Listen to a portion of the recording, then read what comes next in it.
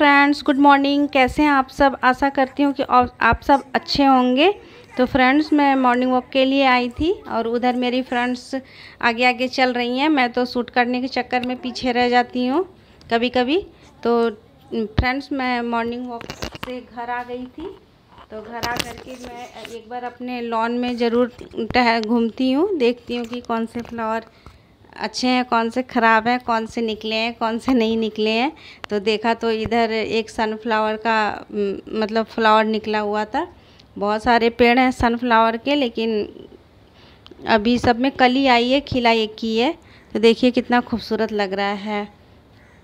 अभी जैसे जैसे अभी छोटा है जैसे जैसे धूप निकलेगा ये और बड़ा हो जाएगा। सारे में जब फूल आ जाएँगे तब तो, तो और भी खूबसूरत लगेगा। तो ठीक है फ्रेंड्स मिलते हैं थोड़ी देर के बाद। सो so फ्रेंड्स ये मेरी दाल है। दोपहर का टाइम है और मैं रेडी कर रही थी अपना लंच तो दाल को मैं थोड़ी देर के लिए भिगो करके रख दी थी, आधे घंटे के लिए। जब ये अच्छे से फूल जाता है ना तो इसको दो तीन पानी से अच्छे से धो लिया कीजिए, क्योंकि इसमें केमिकल लगा रहता है दाल में।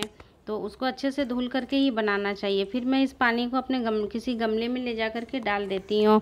फिर मेरा कुकर भी रेड मतलब थोड़ा गर्म हो गया था, इसमें एक चम्मच घी डाले हैं। और फिर उसमें ये दो लाल मिर्च डाल करके फिर अपना प्याज डाल दिए हैं और थोड़ा सा ब्राउन नहीं करेंगे, बस थोड़ा सा ही मतलब थोड़ा सा सॉफ्ट हो जाए बस। और उसमें अपना ये दाल डाल देंगे। दाल डाल करके फिर थोड़ा सा नमक, थोड़ी सी हल्दी डाल करके इसको थोड़ा सा भून लेंगे। मतलब थोड़ा ही, ज़्यादा नहीं भूनना है, बस एक दो मिनट इसको ऐसे अच्छे से एक मिनट तक चला लीजिएगा। फिर उसमें जितना ज़रूरत हो ना, उतना अपना पानी ऐड कर लीजिए। अगर दाल गाढ़ी रखनी है तो कम पानी डालिए, पतली रखनी है तो ज़्यादा पानी डाल दीजिए।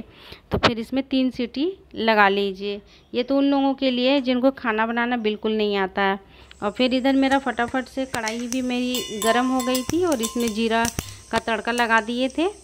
और इधर हम करेला काट करके थोड़ा उसको भी आधे घंटे के लिए नमक लगा करके रख दिए थे, जिससे वो पानी छूट जाता है ना तो करेला थोड़ा कम कड़वा लगता है। तो इधर अपना करेला डाल दिए थे और प्याज भी हम कट करके पहले से रखे हुए हैं तो प्याज भी डाल दिए हैं। दोनों को एक साथ ही डाल करके भून देंगे। इससे तो इसे प्याज जलता नहीं है।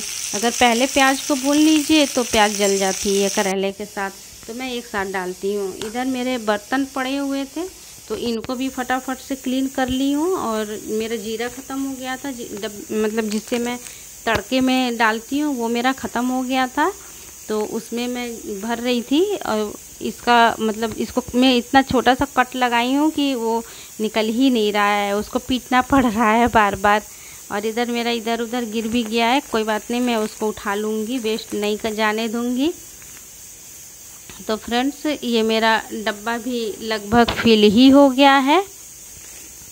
ये हो गया है और इधर मैं थोड़ा सा अपना चावल पहले से धुल करके रखी थी। मतलब चावल को भी मैं 10 मिनट पहले धुल करके रख देती हूँ। इससे चावल बहुत अच्छे और खिले खिले से बनते हैं। तो अकेले ही सूट कर रही हूँ, इसलिए थोड़ा मेरा भगोने में रह गया, उसे मैं बाद में डाल लूँगी। और इधर मैं पानी डाल रही हूँ जितनी ज़रूरत हो चावल में। दाल भी हमारा रेडी हो गया था तो उसमें फटाफट से मैं लगा दी हूँ तड़का। क्योंकि खाना रेडी करना है बहुत जल्दी फटाफट से। और फिर इधर मेरी रोटी जो है कि बन गई थी लगभग। ज़्यादा रोटी दोपहर को बनाती नहीं हूँ दो तीन ही बनाती हूँ। इसका भाव इतना तेज़ लगता है ना फ्रेंड्स कि हाथ जल जाता है। कभी कभी किसी का जला हो तो बताइएगा। मेरा तो कई बार मतलब उसका भाप से हाथ जल गया है। और इधर मेरी थाली भी फटाफट से रेडी हो गई थी। और मैंने अपनी थाली में दाल डाल लिया है। और ये दही है थोड़ी सी पनीर की सब्ज़ी है और थोड़ा सा यही करेले की सब्ज़ी है फ्रेंड्स। आज मैं जब करेला बना रही थी ना थोड़ा सा ध्यान इधर हुआ और करेला मेरा ज़्यादा भुन गया है। कोई बात नहीं, मुझे तो ऐसा ही अच्छा लगता है, ज़्यादा भुन जाता है तो कड़वा भी नहीं लगता है। तो इधर मेरी थाली रेडी हो गई थी तो देख करके आप लोग बताइएगा कि ये थाली किसकी होगी? मेरी तो होगी होगी नहीं। या बेटा खाएगा या हस्बैंड खाएँगे, दो में से कोई एक ही खाएगा। और इधर चीनी भी दही में डाल दिए थे और ये मेरी थाली फटाफट से रेडी हो गई थी तो मैं अब मिलती हूँ थोड़ा खा करके। तो फ्रेंड्स, अभी इधर इवनिंग का टाइम था और शाम को मैं थोड़ा रेस्ट वेस्ट करके कमरे से बाहर ज़रूर निकलती हूँ। आधे आधे घंटे के लिए निकलूँ, लेकिन निकलती ज़रूर हूँ। इधर अभी कोई मुझे मिला नहीं तो मैं अकेले ही झूला झूल रही हूँ, नहीं तो कोई मिल जाता है तो बातें करने लगती हूँ या फिर इधर उधर भी थोड़ा सा चली जाती हूँ शाम के टाइम में। आज कोई नहीं मिला, कहीं नहीं गई तो मैं घर में ही अपना बैठ कर के झूला झूल रही हूँ। थोड़ा देर झूला झूलती हूँ, फिर थोड़ा देर टहलती हूँ, फिर झूला झूलती हूँ, फिर टहलती हूँ।